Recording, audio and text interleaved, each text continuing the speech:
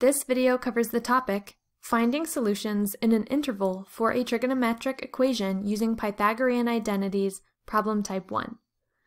As the topic states, we will be using the Pythagorean identities to solve these problems. It is always a good idea to keep these handy for when you need them. Let's start working through an example.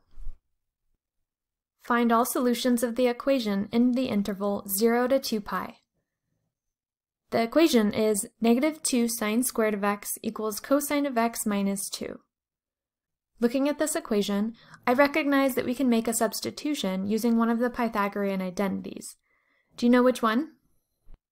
I think we will use the first one listed because it is the only one that contains sine and cosine. Yes, that's the correct identity to use for this problem. We want to be able to make a substitution for sine squared of x. Can you solve this identity for sine squared of x? Yes, subtracting cosine squared of u from both sides of the equation, I get sine squared of u equals 1 minus cosine squared of u. Great work! Substituting 1 minus cosine squared of x for sine squared of x, we write negative 2 times 1 minus cosine squared of x equals cosine of x minus 2. Distributing negative 2 to 1 minus cosine squared of x, we write negative 2 plus 2 cosine squared of x equals cosine of x minus 2. Adding 2 to both sides, we write 2 cosine squared of x equals cosine of x. Now, we can subtract cosine of x from both sides of the equation and write 2 cosine squared of x minus cosine of x equals 0. This step may be tricky to see at first, so I will make an analogy to an equation you may be more familiar with. 2 cosine squared of x minus cosine of x equals 0 has the same structure as 2x squared minus x equals 0. To solve this equation, we could factor out an x from the left side of the equation. Doing this, we write x times 2x minus 1 equals 0. We can set both factors equal to 0.